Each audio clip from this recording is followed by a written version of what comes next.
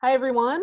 Welcome. Thank you for joining us today for our session on CK12 simulations and Plix interactives. We're coming to you live from CK12 offices in Palo Alto, California, in the heart of Silicon Valley. I'm Lindsay, a member of the CK12 team, and I'm going to be moderating today's webinar.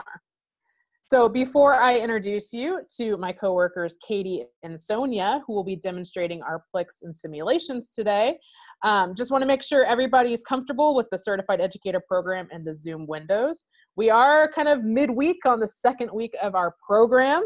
Um, if you still have any questions about accessing our assignments or resources in Google Classroom, you're welcome to put those in the Q&A window um, or ask us at the end of today's webinar. Uh, you guys are off and running in the chat window. Um, thank you for introducing yourself, telling us where you're, where you're joining us from and what you teach. Uh, a hint for the chat window though, do make sure that you're sending your messages to all attend all panelists and attendees so that everybody can see your messages. If you just send it to panelists, we're the only one who can see your greeting. All right, we have a session resource page. We're gonna put this in the chat window for you guys to access. Um, these are just some handy reference pages that we have created for you that you can print out if you'd like. You can use it to follow along during the presentation, or you can access it at a later date as a reference page. Okay, um, let me go ahead and introduce you to my colleague, Katie, and she's gonna begin our presentation.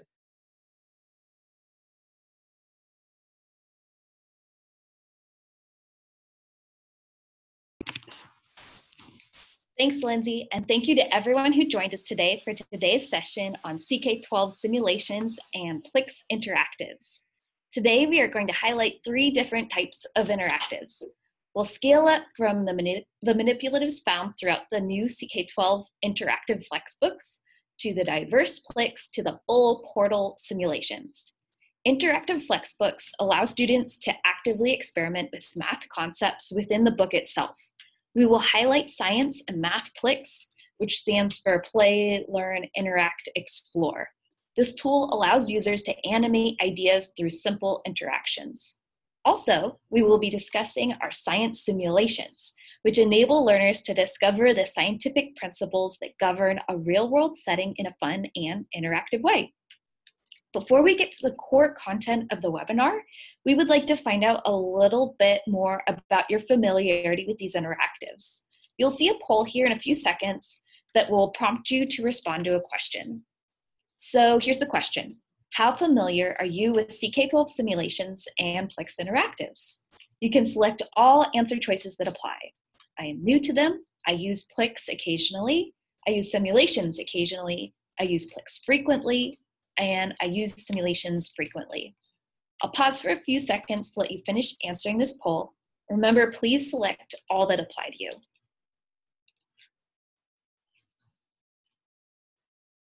Awesome. Thank you so much. Okay, it looks like a lot of you are new to our interactives, so this is a great time for us to tell you all about them. All right, so now let's move on and discuss interactives. In this first section of the webinar, I'll introduce CK12's newest books, the Interactive Flex books. Next, let's talk about Plix Interactives and Plix Corner. Our goal is to get you ready to try interactives in your class the first week of school. CK12 recently released Common Core Aligned Flex books align, filled with interactives. This is a section from the Algebra 1 book. Students can read through the text, look at pictures, and manipulate graphs, figures, and equations without having to leave the book. In this book, the interactives are designed to be an integral part of the lesson, not just supplementary. This is cutting edge online textbook technology. Interactive Flexbooks are online textbooks that are populated with digital manipulatives and Plix interactives, which we'll go into in depth later in this webinar. We currently have Algebra 1, Geometry, and Algebra 2 interactive books up on the site. Each curriculum is rigorous and fully aligned with Common Core state standards. Like everything at CK12, the books are free. To find the books, just scroll down to the bottom of the CK12 homepage and click Common Core Math under the By CK12 title. You will find this link at the bottom of many CK12 pages. The link takes you to a web page with this URL. The functionality of the interactives are tightly integrated with each course. For example, this interactive is designed for a lesson on comparing function types, linear, exponential, quadratic, and rational. The lessons in the interactive flexbooks are also full of real world applications and Plix. Plix are similar to the embedded interactives that we just looked at, except Plix can be addressed outside of the textbook.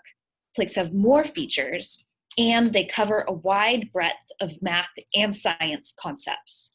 You can learn more about the interactive flexbooks by joining the Common Core Math on CK12 webinar tomorrow, which is Thursday, July 19th at 9 a.m.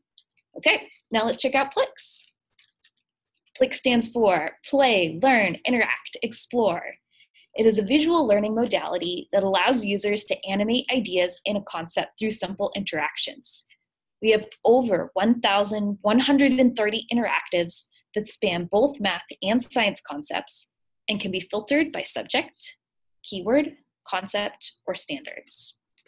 Also, Plix, like everything offered by CK12, is free to all users. All you have to do is sign into CK12 to access them. After you've opened up a Plix, the first thing you do is read the description on the left. The description explains what the interactive is about and provides directions on how to interact with it. Next, use the interactive by following the prompt in the instructions. In the interactive, you can explore the concept. If you need to start over, there's a refresh button at the bottom that you can use. After you finish the interactive, click the challenge button below the description. This opens up the challenge questions. The questions often build upon one another to help students reach a deeper understanding of a concept. The final question is a discussion question that you can use for a class conversation. This is a great place to think about differentiating learning by having students try the first few questions or work their way through to the higher level thinking and discussion questions. As a side note, don't worry about trying to write down all of the teaching strategies that we mentioned. A full list was posted earlier in the chat window, and we'll also send it as a follow up to this webinar. Along the toolbar at the top of the Plix, you'll see that there are even more features. We will discuss more of these features as we go. And now let's dive into a Plix. This Plix is about lunar phases. The description of this Plix includes a prompt on how to interact with it. Notice that it says to drag the red point. Moving the red point changes the phases of the moon in accordance with the labels on the slider. At the top right of this Plix is an orange button to assign to class. You can assign Plix to students in a CK12 class group by clicking on that button. If you want to learn more about assignments, feel free to ask us in the Q&A window. Let's look at another Plix for a second. Before we explore the Plix itself, you can see in the top right the options to give feedback and adjust the size of the text by clicking the icons in the upper right corner of the screen. You'll notice that this Plix about rules for dilation has the same description prompt area the simple interaction and challenge questions. This Plix uses two of the most frequently seen question types, multiple choice and select all that apply. If students are struggling with a question, they can often find hints to help answer the questions. Note that if you get an answer wrong, you'll see the option to show the correct answer. Once again, this is a learning, not an assessment tool. So students will be able to get immediate feedback and guidance when they attempt a question. Students can also use the Learn More option to read about the matching concept and gain a better understanding of it. Encouraging students who are struggling to access these resources is another great way to personalize and support student learning. So now that you've seen two Plix, you may be wondering where you can get your hands on them. You can access Plix through the website on any computer or tablet with a screen size of 9 inches or larger. You can also use the search bar to find content and modalities, including Plix, or you could open Plix from within any concept. You can access Plix through the circular Plix icon on the homepage. Alternatively, you can jump directly to the Plix browse page using www.ck12.org slash Plix. Let's see what that looks like. Once on the browse page, you have a few options. Remember to sign in if you haven't, and then you can choose your branches. This will help you filter your Plix according to the areas you're teaching. If you've done this and you want to update those branches, you can click on Change Branches. In addition to searching on the main site, you can search within the Plix browse page. Here you can search for a title, concept, or even CCSS or NGSS standard. You can find Plix in all branches of math and science. To achieve this depth of coverage, we've developed some really diverse Plix. Some Plix are exploratory based, while others check for student understanding. Some Plix are abstract, and others are based in the real world. Let's dive into a few examples. These exploration based Plix are sandboxes in which a student can play around and experiment with an idea. In the distance between two points taxicab distance Plix, students explore two different ways to find distance between two locations. In the Ohm's Law Plix, students explore how Ohm's Law affects the current in the circuit.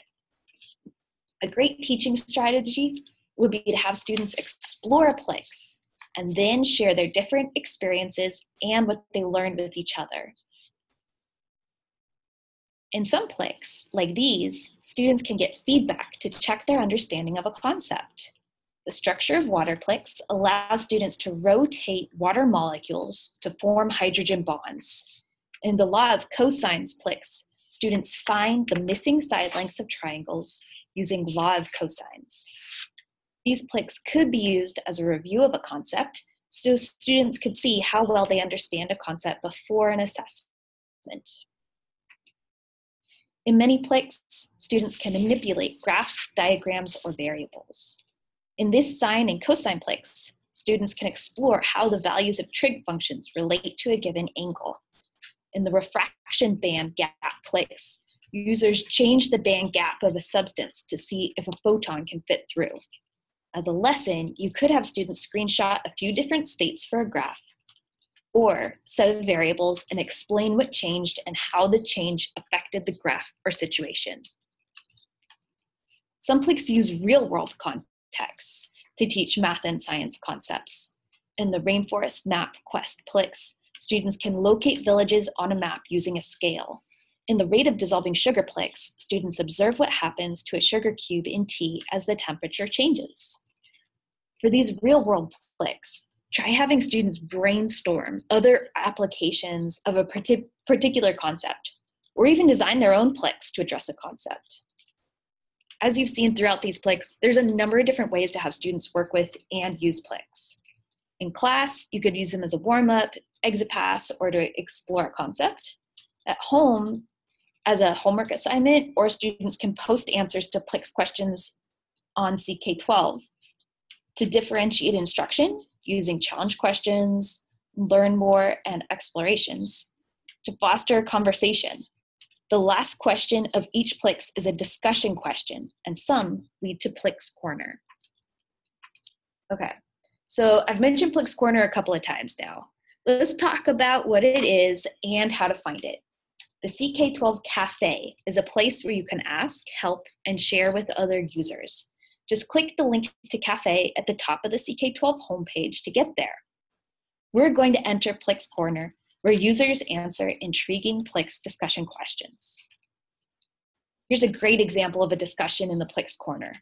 The Plix math question of the week was from the Sets and Symbols Size of Infinite Sets Plix. You can assign the Plix featured in a Plix Corner post and have your students join this conversation and discuss their ideas with classmates and other students across the world.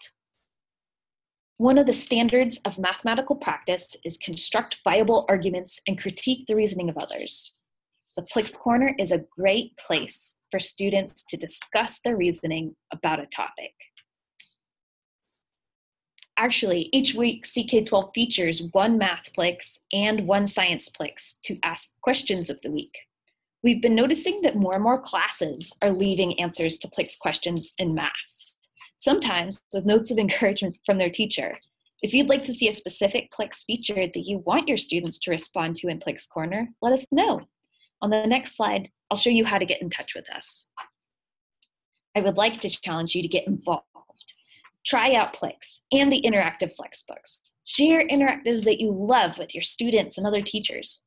Tell us at CK12 what you think by reaching out to us at Facebook, Twitter, or email the interactives team directly at interactives at ck12.org. If you are interested in creating your own Plix, send us an email. We're opening up the Plix creation tool to a few select teachers. Give it a shot. All right, have fun exploring our new interactives. So I've told you a lot about Plix. Now it's your turn to find a Plix that you could use in your classroom. Press escape from the Zoom window, open up your internet browser, and go to ck12.org. For those of you staying on the Zoom window, you can watch me find Plix on the CK12 site. All right, so here we are at the CK12 homepage, and it's time for your challenge. Navigate from the CK12 homepage to the Plix browse page. Once you're here, you scroll down past all the branches until you see this nice button right here for Plix. And here we are at the CK12 browse page for Plix. If it's your first time on the Plix browse page, or if you're not signed into CK12, you will be prompted with a tutorial on how to use Plix. With that, this might be a good time to stop and see what questions we have coming in about Plix. Before we move on to the second half of this webinar where Sonia discusses simulations, please join us back in your Zoom window or participate in the chat and Q&A. All right, I'm going to check in on what's been happening in the Q&A window. Um, Katie, we do have a couple of questions that look specific to the, the Plix that you guys just talked about. And then a lot of our users are posting questions that we're probably going to have Sonia field after she does her simulations demonstration. So any of these that are on Sims, we might just kind of keep in the Q&A window for a little bit and let Sonia do her demonstration first. But um, Katie, two questions that are for you. Um, the first one, it just says no interactive flexbooks for science yet with a question mark. And then the second one is about taking new requests for Plix. Okay, that's right. No interactive flexbooks for science yet. um, I think that's all I'm going to say about that. Keep you keep you posted. Um, and requests for Plix yeah, we we would love to take some requests. If you email the interactives team, uh, interactives at ck12.org, we'd love to start up a dialogue and possibly create some custom Plix based on your plans. Okay, um, we have a question about inserting Plix into Flexbooks or um, resources. How do you suggest that people do that at this time? So the easiest way to do that is just to pull the URL. So you highlight everything up in the HTTPS field and you can just create your own hyperlink or just plop that directly into a Flexbook. Okay, um, somebody's asking, is Plix HTML5? So maybe you just want to explain a little bit about um, kind of how your, your team maybe creates these interactives. Um, so we're using uh, JSX Graph Library, and we use this uh, open source library to build Plix using our in-house Plix tool. And uh, Plix are available. They, they should work on all laptops and tablets and computer screens unless it's like your own little cell phone, that would be a little too small for this size. A couple of our users were just asking about grade levels. Um, you can see at the top of the screen where there's different branches, but what suggestions do you have if they're looking for things at different grade levels? And then we have a user who's very interested in um, possibly using these with, with first graders. So any, you think some of these would be appropriate for elementary? Yeah, actually, um, if you're looking through the arithmetic and measurement branches, there's a lot there that's really good for elementary schoolers. Um, a lot of the branches are pretty self explanatory in terms of uh, geometry, physics, chemistry, etc. But um, yeah, I would definitely look through arithmetic and measurement, and you'll you'll find some stuff for younger students. All right, and then we have a question about the Plix working in one of our CK12 apps. Most of my students use their cell phone to complete assignments at home, and I think you just reviewed what the screen dimensions need to be for accessing Plix. Yeah, I would recommend a size uh, 9 inch screen or larger, like a Nexus 9. On a cell phone, if you try to load it, you'll see some cute little a picture of a bunch of hamburgers or bats or something with a message that says that the screen is too small for Plix. And then maybe just take in um, another question here. Um, somebody asked, is there a good way to search for Plix? So maybe while you're on the screen, just show them a couple different ways to easily get to the concept that they're seeking. Yeah, no problem. So, well, here I am on the browse page. So let's say on the Plix, you're already here um, and you want to look for something uh, with lines, for example. You could just search in here and you have a whole bunch of different Plix that you can choose from and just pick around and explore and see what looks good to you. Uh, if you are on the CK12 homepage, you can look up uh, anything like, let's say, you're teaching a lesson about Jefferson, even. uh, the first thing that comes up is a. And it's actually a Plix that's about uh, graphing inequalities that happens to correlate with some information about Thomas Jefferson. And so you'll find Plix both through the browse page or searching around on CK12, or if you were to start with, um, let me go back to the homepage here.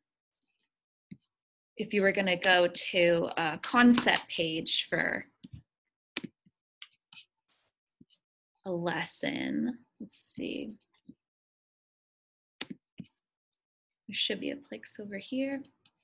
Here we go. So on the concept page, so if you're looking around at all your different modalities, you can find a Plix and access it that way as well.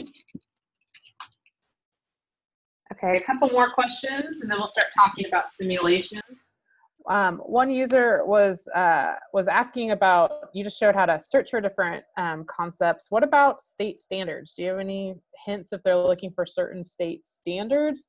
Um, and then I'll go ahead and give you the second one right now. Um, uh, I guess earlier when I was asking about levels, I commented on grade levels, and uh, this user is asking about skill levels for Plix within a concept because you mentioned some are more difficult than others. Is there any way to easily identify that? So for concepts, we uh, for the excuse me the standards, we do have standards listed uh, here on the browse page or within a Plix, sometimes in the information. Um, but as for the the grade level, we don't actually detail by specific grade level on a Plix. And we list all of our Plix at the at grade level uh, rather than advanced or basic. So um, yes, there there are slightly different levels within a Plix, but I think what I was discussing when I was talking about the, the different challenge levels was within the challenge me questions on a Plix. We start off with more basic questions that relate directly to the interactive. And as the questions build, they get more and more challenging until the last one is a higher level question. So, a lot of the times, um, you could just start with the first one and then move all the way through. All right. Thanks for all that good information, Katie. And um, keep asking your questions in the Q&A window. I think that I'm going to steal the screen back here and we're going to get ready for the second part of our webinar. um, which is where um, my colleague Sonia is going to jump on and she is going to talk to you guys about simulations.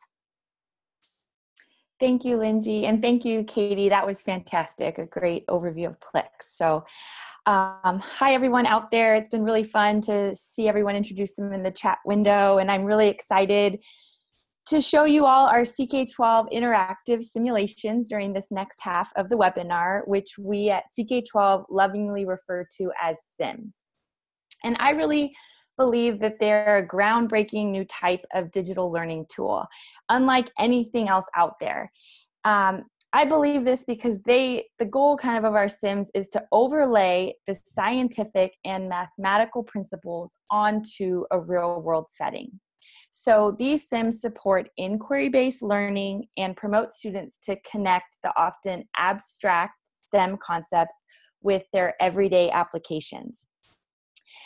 They differ from the Plix Interactives that Katie just reviewed in that they're almost uh, more of a portal. So they pull students into this real world setting, and there are multiple ways to interact with the simulation, connecting many concepts together in one setting. But like the Plix and other resources at CK12, they are all free. Uh, you just have to sign in to access multiple SIMs or download the free app to your tablet device, and I'll talk more about that. So in this webinar, I will show you how to navigate the Sims browse page. It looks really similar to that Plix browse page you just saw. And then I'll help familiarize you with the general structure of the Sims. I'll be sure to highlight the many embedded SIM features and resources and share some ideas I have for using the SIMs as an instructional tool in class or at home to differentiate instruction and to dispel some of those common science misconceptions. My main goal, like Katie's, is that by the end of this webinar, you feel excited and equipped to use CK12 simulations in your class. I really just encourage you pick one sim and experiment with it, even during that first week of school. I really think your students will be excited. So, just kind of um, to start the webinar, I actually used to be a classroom teacher, and this is an actual picture taken of a whiteboard in my physics class a few years ago. And just to give you some context, I spent like my whole lunch period trying to draw this image for my students relating the law of reflection with what they saw in a mirror. And all I had, you know, available to me were some whiteboard markers and this whiteboard. Thankfully, CK12 has now provided a, a, much more compelling learning tool, and hopefully, we teachers can now have time to eat our lunch, right? So, the next um, slide here is highlights our prom night sim, and it really is just this collection of sims is a beautiful collaboration between science teachers, animators, and software developers at CK12. So the prom night sim begins with an intriguing question, right? What size mirror do you need to see your entire body?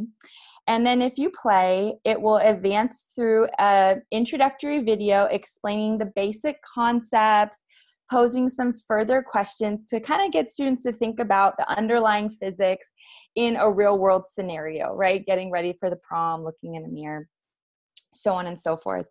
Now, I do want to um, give you some context. I recorded this video kind of on fast forward for purposes of the demo, um, and I'll show you an introductory video at a later time as well.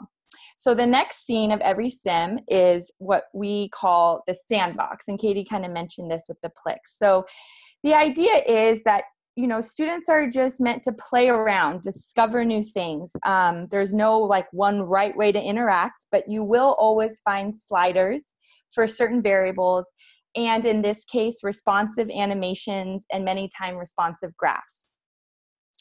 And the next um, scene are three questions that can be answered by adjusting the sliders in a certain way. So we call them slider based questions. And then the last scene of every sim ends with a set of real world examples. And these invite students to kind of think about the applications of the core concepts in different physical situations to promote their continued learning.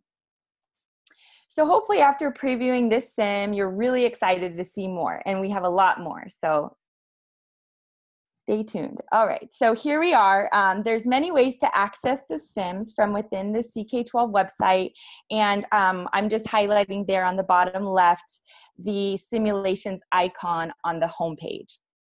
That's a nice way to kind of access the browse page. So the web address www.ck12.org forward slash sims also provides a simple shortcut for you. And maybe if you want to share this um, you know shortcut with your students and colleagues and it provides an easy way to get to the sims browse page. So our collection um, includes over 120 sims that you know highlight bobsleds music recitals swim meets archery airplanes, and more. So, as you can see, just all these really beautiful real world settings that are hard to replicate in the classroom. So, moving on, our collection of Sims are currently divided into two branches physics and chemistry. So, right now, you can see on the top left, um, we are looking at the physics tab of the browse page. The first row features three of my favorite sims for topics commonly taught in a physics classroom around the beginning of the school year.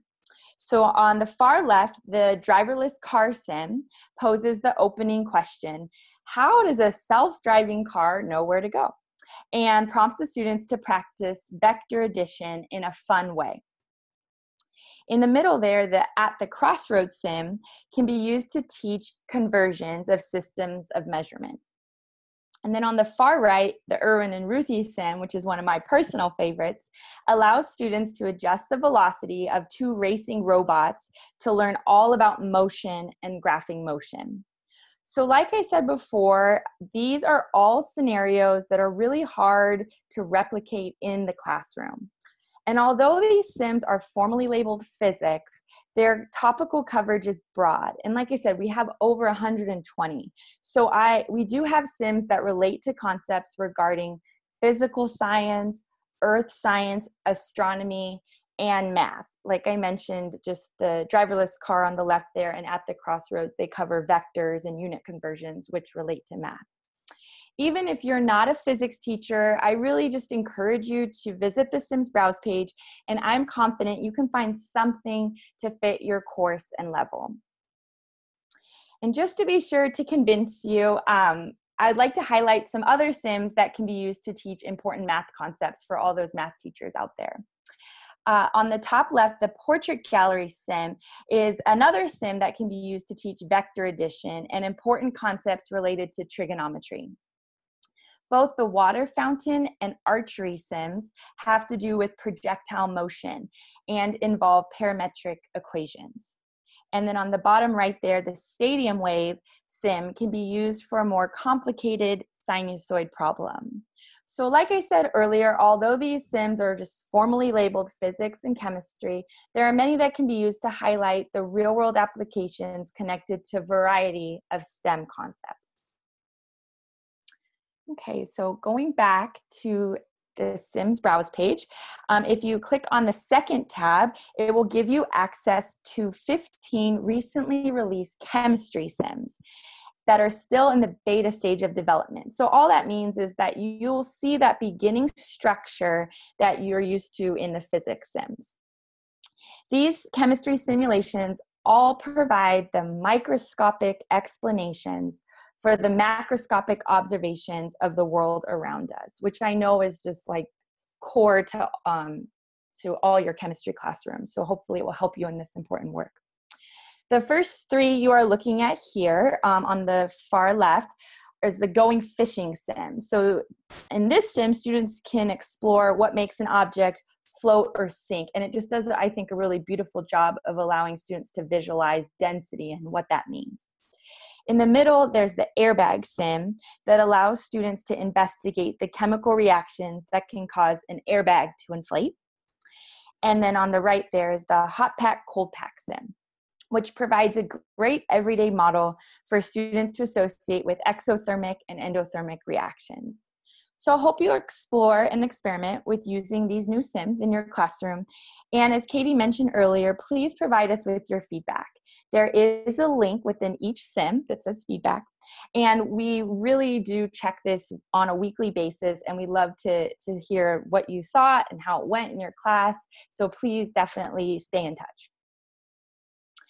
Another exciting announcement is that we offer a free CK12 physics simulations app for your iOS and Android tablet devices. You can see highlighted there. If you click on that, it will um, by clicking on either of those two icons, you and your students can easily download the app for free at the App Store or the Google Play Store today. So, just a little bit more about the app. I do want to highlight that it is for tablet devices. So, if you just happen to be kind of looking at the App Store on your phone right now, you won't find it. You'll have to be on a tablet device to see and download that app. All of our Sims, whether accessed online or via the app, require a nine inch screen or larger to view all the sliders and graphs, as Katie mentioned. It just, um, there's so much going on kind of in the simulation. You need that larger screen to really have it be a meaningful experience.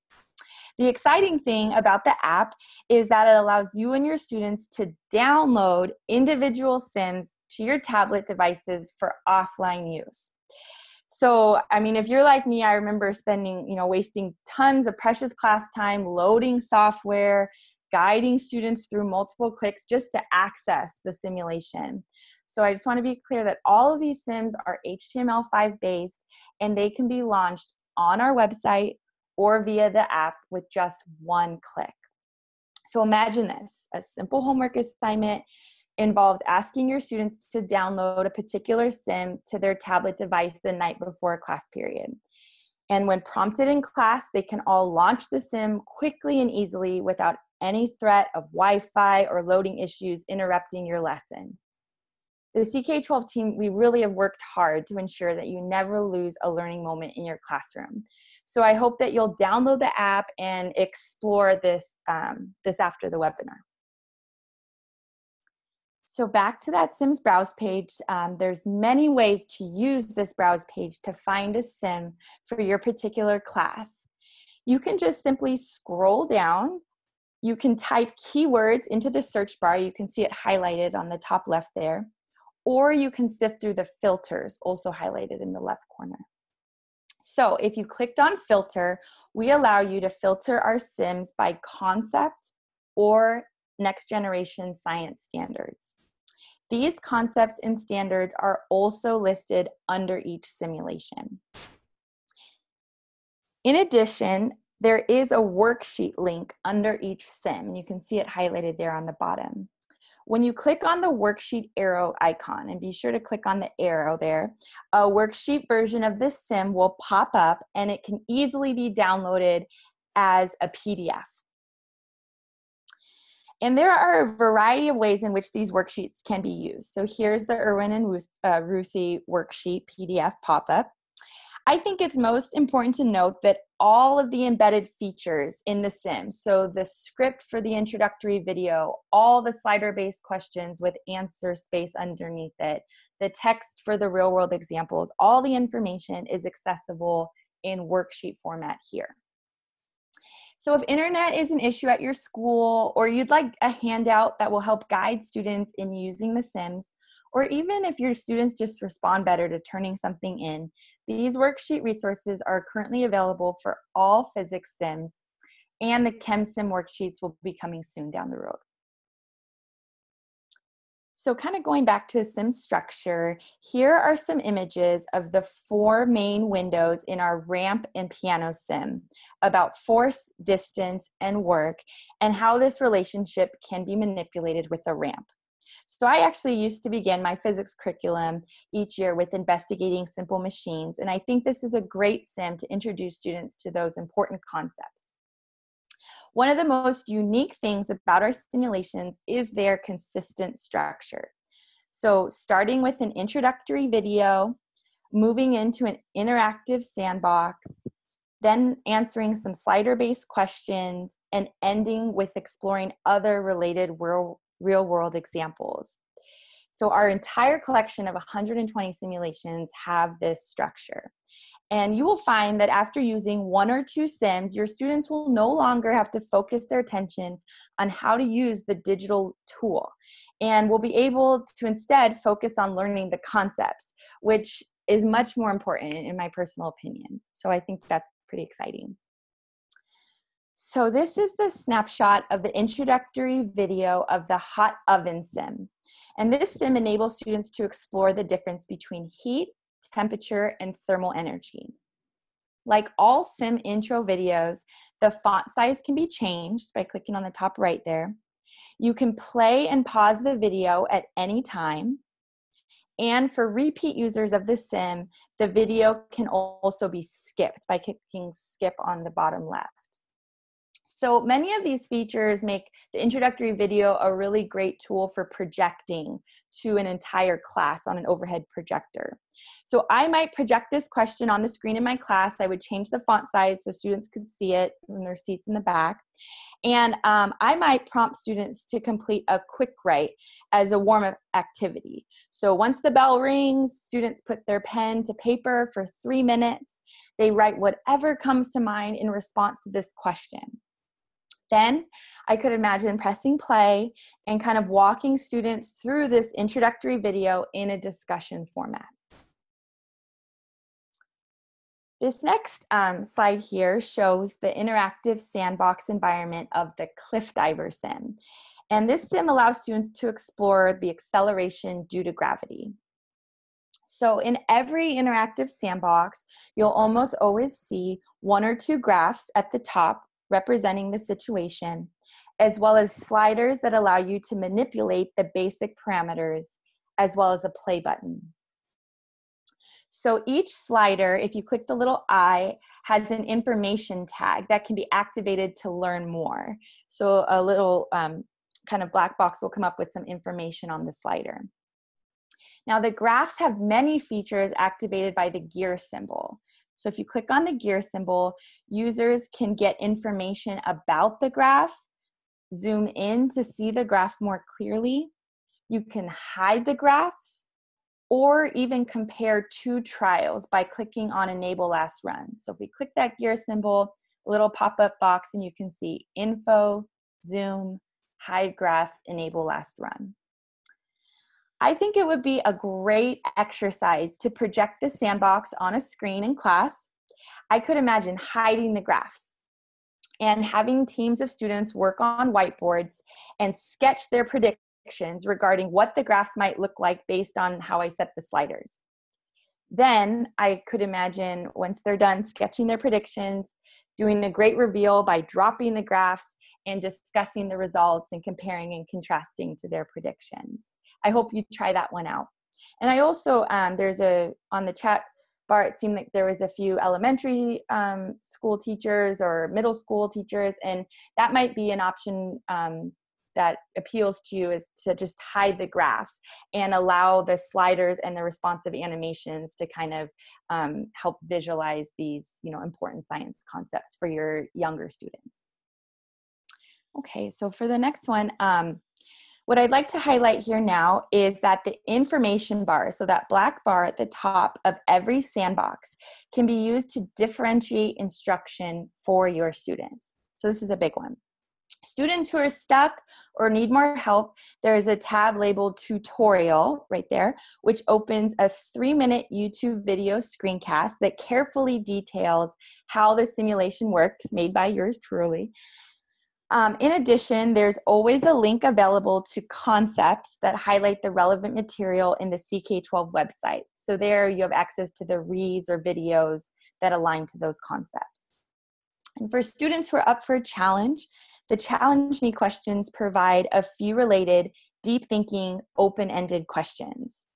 So I just want to state here that really in this one interactive environment, students who are struggling are supported Students who are ready to move on are challenged, and all students are prompted to be curious and have fun.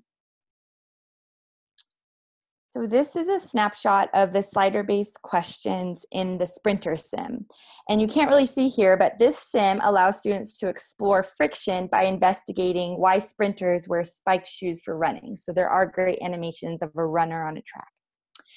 Now, with these slider-based questions, you receive immediate feedback on your submission. And for all of you teachers, there's a way to create new slider-based questions right there with that plus um, icon. So you as the instructor can tailor this sim to your specific course or level. I could envision prompting students to answer the slider-based questions in pairs during class.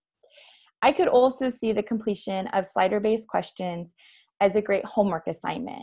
They are included in the SIM worksheet with sufficient space below each question to provide room for students to record their answers and reasoning. So those are just a few suggestions for you. And this is the final scene of, um, of the sim with snapshot of the real world examples at the end of the gone fishing chemistry sim about density and floating that I mentioned earlier. I think it'd be really fun to prompt students to do further research on one of these examples for homework. So I could imagine saying, you know, pick a question that you're interested in, do some research, and bring back some information to share with your classmates the next class period. You can also customize the simulations by adding more real world examples. You can click on that plus icon right there. Another idea would be to prompt students to create their own example and upload it here, adding to our bank of community contributed content. I actually introduced this idea during, during our school year webinars on the interactives, and I'm really excited to announce a few teachers actually took me up on it. So if you go um, to the Gone Fishing Sim, to the real world examples, and click that community contributed tab, you'll see that there are over 25 examples now that seem to be student generated. And I just think students would get a thrill out of seeing their work displayed like this. So I hope you'll try it out in the upcoming school year and, and let us know so we can we can highlight that. All right, so this is um, kind of one of my favorite things to share. So this chart highlights some of the most common science misconceptions, right? This is what gets us science teachers out of bed in the morning, you know? A relate and, and also a related sim that we hope you can use to dispel it. So um, there are some great examples here of misconceptions, and I know you guys all have big smiles out there, you science teachers. So I just, the first one here particles of solid have no motion, right? Um, a lot of students, we spend a lot of time getting, getting to that one. So um, you can use the building bridges sim and if i have time at the end i'll hop on and show you that um, but basically it highlights that the solid particles of the golden gate bridge are actually jiggling um, the second one there mass and weight are the same thing that's my, you know one of my personal favorites i tried to really hit that hard at the beginning of every school year and um, we have the astronaut training chamber sim, which is awesome. So basically, it shows the mass on various planets and how that stays the same, but the weight or force due to gravity differs. And this sim even allows students to explore the gravitational constant on Dione, Saturn's moon. So it's really fun. Um, another common misconception: is the gravitational force is the strongest force in nature and I might use the portrait gallery sim to start a class discussion. If gravity is so strong, how does a picture remain hanging on a wall in static equilibrium? So those are just a few ideas of how you can use sims to dispel those misconceptions. All right, so it's just been a really exciting time to be a science teacher, as I'm sure you all know. And I want to highlight that we do have a lot of sims that connect to current events, such as this black hole sim, that can be used when discussing the recent Nobel Prize in Physics that was awarded for the discovery of gravitational waves generated by two black holes. Or even to discuss the difference between black holes and neutron stars, as just this last year, science detected gravitational waves generated by two neutron stars. I just think that this sim is beautiful, and I, I really believe that it fosters student interest in modern science.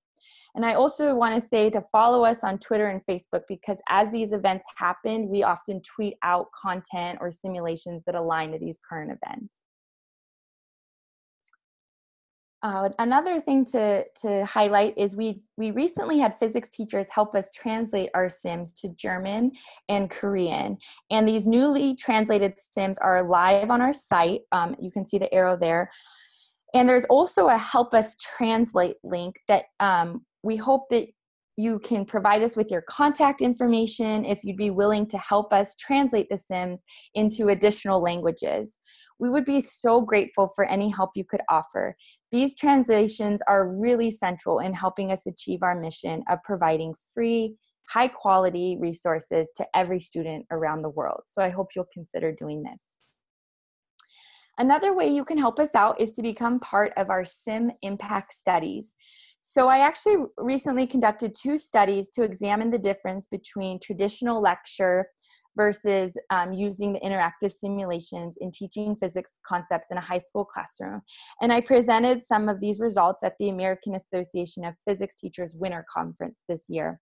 Um, from the last webinar last week, I had a few teachers reach out that they'd be interested. And um, it's very simple and basically we're very flexible. So if you have a sim that you're interested in experimenting with and then maybe just conducting a study on how that sim helped to enhance your students' learning experience, please um, reach out to us via email and um, it would really mean a lot to our sim development team. So that concludes my part of the Sims webinar. Um, here's a review kind of of everything I just covered. I know that was a lot of information, but overall, I just hope that you will sign up, sign in, download that free app, and really just explore and experiment with using the Sims in your class, even that first week of school. As you know, because you are all amazing teachers, there really is no better way to learn than to just jump in and try it out. So I'll hand the mic back over to Lindsay.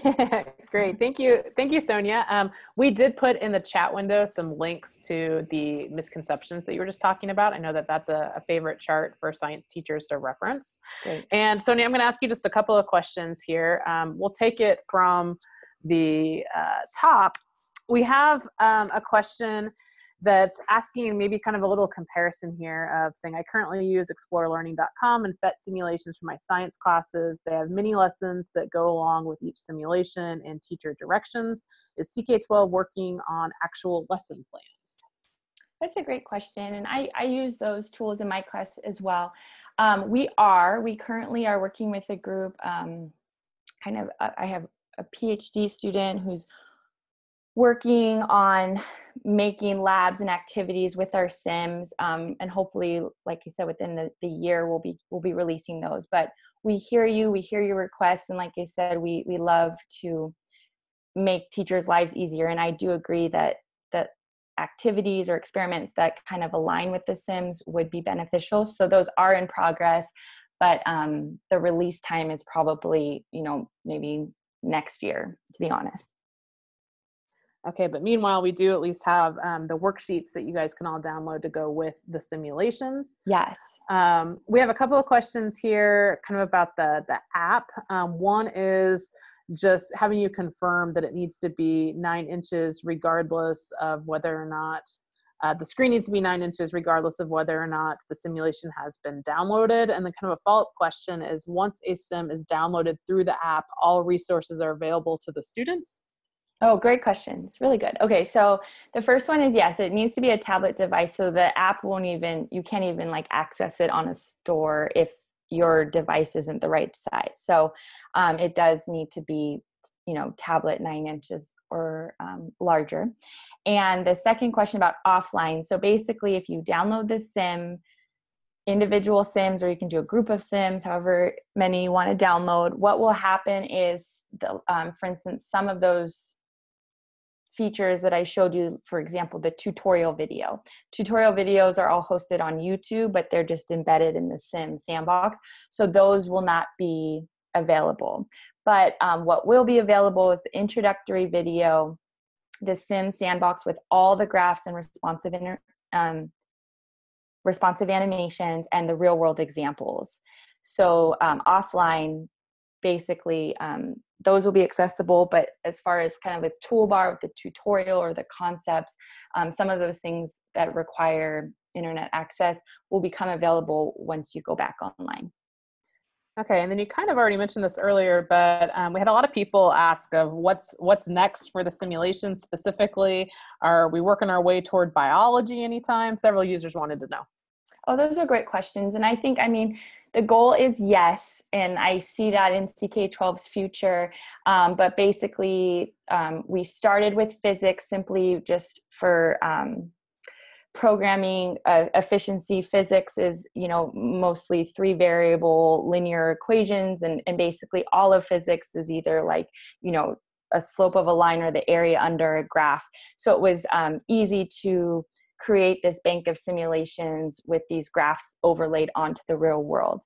Then we moved on to chemistry which is more challenging because as you know molecular movement and to program that in a in a correct and accurate way takes a lot of, of programming power and um, to kind of stick with our philosophy of overlaying kind of onto a real world setting was a challenge. So we're sticking with that. We're working hard towards it and there there will be some more chemistry sims coming soon. So that's the the next thing that you will see is an increase in our collection of chemistry sims. And then moving on from that we'll kind of use our experiences and um, to take that you know i guess you would say like take what we've learned from chemistry and apply that to programming simulations with biology. So our goal is I, I think as an organization we'd love and we're working towards biology but they're definitely kind of down the line Okay, keep your questions coming into Q&A. Um, Sonia, I'm going to let you just check out the Q&A window while I do some wrap-up information. I do want to talk to you guys about some program information, and then we will stay on after. Um, one request, Sonia, here in a few minutes, I'm going to have you share your screen, and people were asking to see again where that worksheet feature was. So after I do the wrap-up information, we'll let you go live and demo anything that people um, still want to see related to Sims. Oh, that's great. But okay so we're doing a little bit of q&a here. Um, this tools and apps page this is a handy page. Sonia mentioned it earlier that you can download an app for your simulations. If you want any information about lms integration or how to get some of these tools and apps from us this is the link. It's also available in our footer. You would just click on tools and apps in the footer of any ck12.org page we have an overview page that we think is really helpful for teachers and schools as they're trying to consider all that CK12 has to offer. At the top, there will be an option for you to download a PDF flyer, and then we have a listing of all of our different resources. That plus sign expands to give you additional bullet points, and then there are videos that have teachers and administrators and students talking about our different resources and how they're being used in different settings. So you can always go to ck12.org slash overview to access that page. Um, live chats. Uh, Katie is going to um, post our live chats in the window right now. These are happening on Friday. You can always register in Google Classroom, but to make it easy on you, we've just put the direct registration links in the chat window. Um, we have designed these sessions truly for you guys to chat, not like chat message, but to actually turn on your mic if you would like, um, even turn on your video camera if you want, and talk to other people.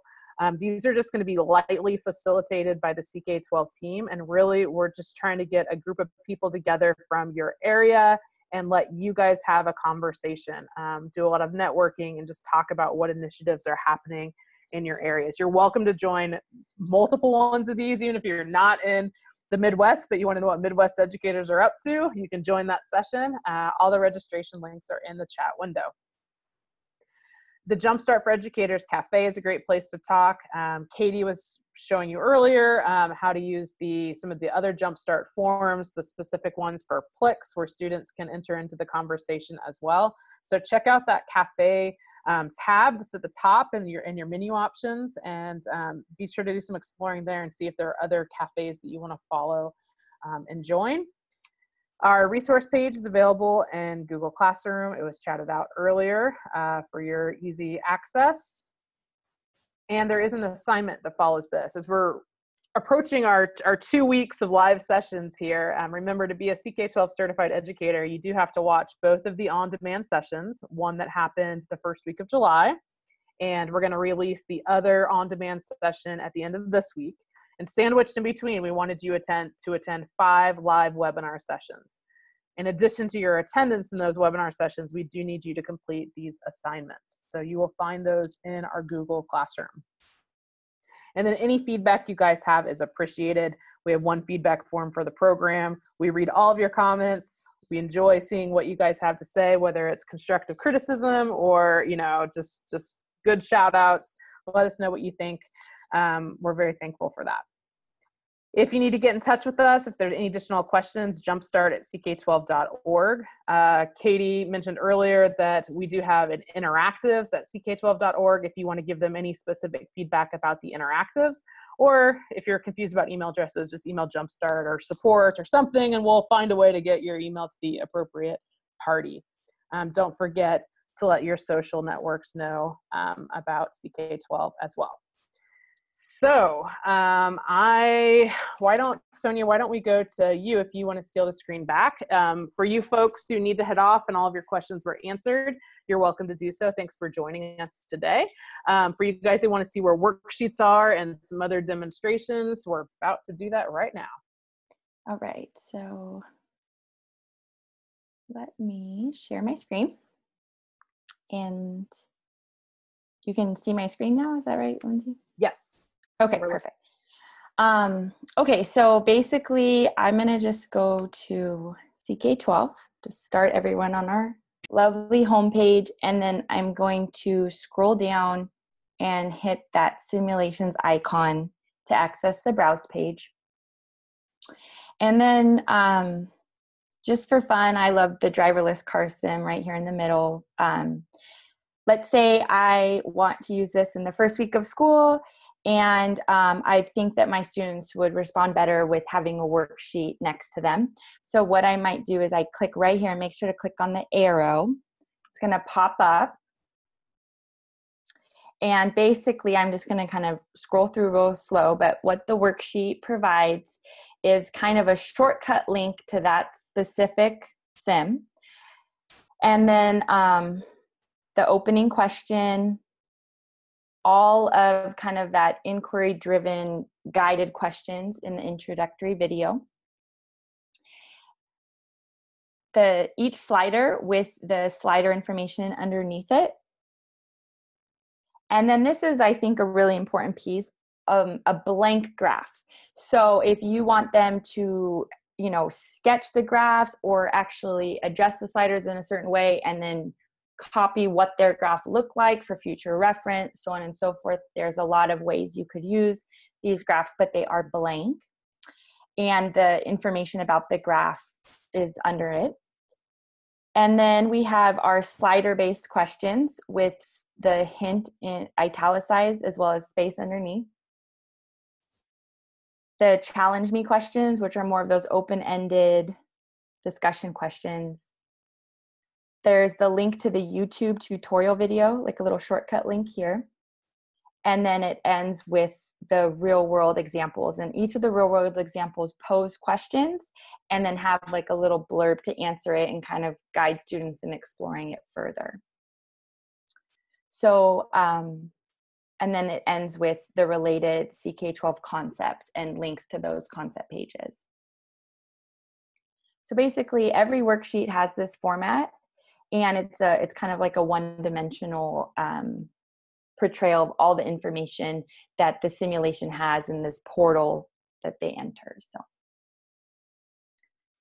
Um okay a um, couple more questions for you, Sonia, here, and then we've got a Plix question we'll get to in just a moment. Um, a user says, I noticed the phase change and states of matter sim are very thought provoking with their questions.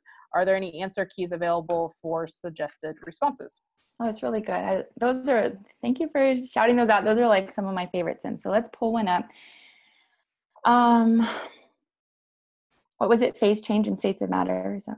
Yes. Okay, so I'm going to open States of Matter, or actually did have it open. This is like one of my favorite sims. So um, basically, to highlight, yes, the questions are awesome, right? So if ice, water, and steam are all made of H2O molecules, what makes them so different? That is just like an awesome question that can be answered many different ways. And then you have these great um, animations that hopefully just really prompt the student to see this molecular overview of something they encounter every day, right? A glass of ice water. Um, and then the challenge me questions. So basically, these questions at this time, we don't provide answer keys simply because the the goal of these open-ended challenge me questions was that there's you know multiple ways of answering and multiple examples that could be used to answer them and um, and so we wanted to leave them open ended however we do hear you and we we have kind of um, had some requests for those. So um, we are exploring with maybe in the future on the teacher view um, of the sims we'll offer that. But at this time answer keys are not available um, for those open ended questions. However in um, the sliders so um, here is the astronaut training chamber sim. Um, I'm going to click through that introductory video, click through the sandbox, and I'm going to um, access a slider based question. For these questions, there's a hint here. You try it and you get immediate feedback. I'll show you. So basically, um, you can try it out and submit and it'll say, oh, your answer is incorrect, try again. When you exit, your answer is recorded.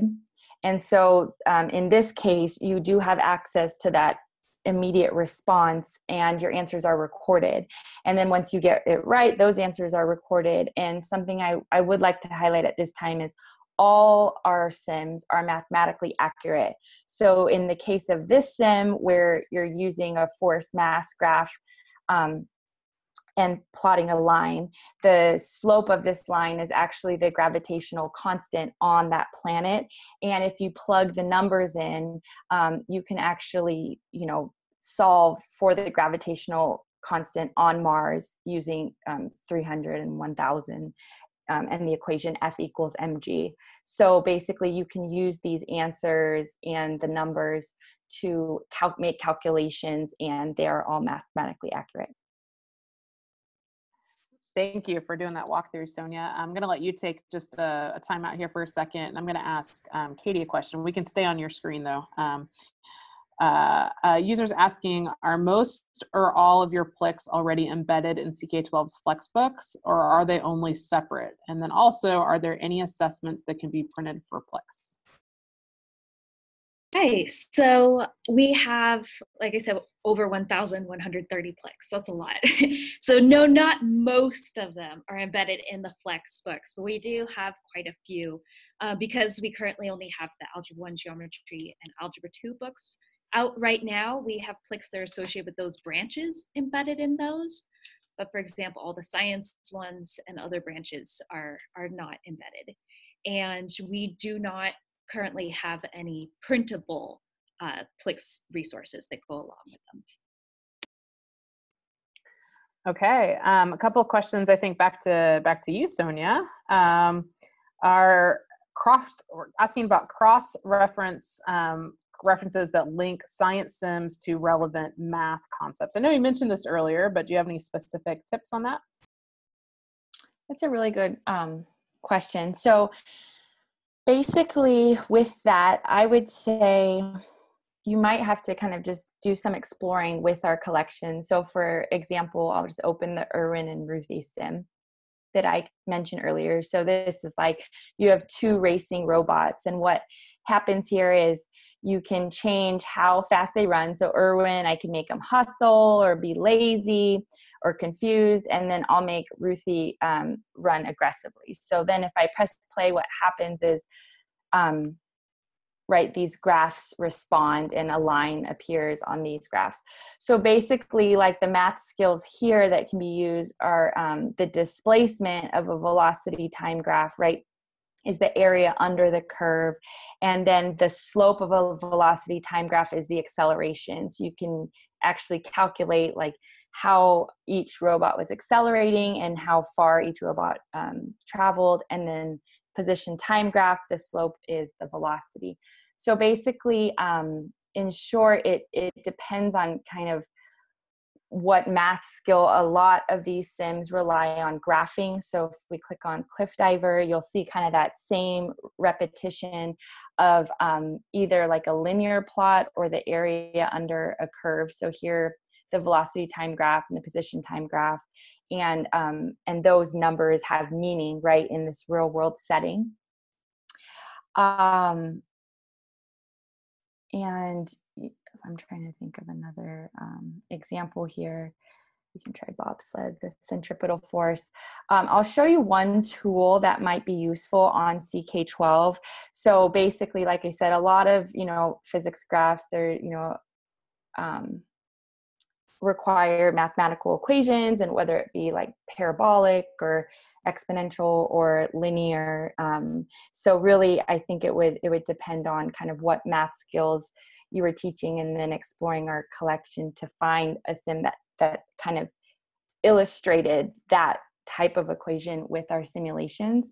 Um, i do want to just hop on um, the website there is this thing like uh, our concept maps it is in a beta stage of development but basically i'll show you kind of how to get to it. So it it is just like i said new and we're experimenting with it um, but if you go let's say to physics i know how to access it here and you click on concept map what will come up is basically like this concept. So let's say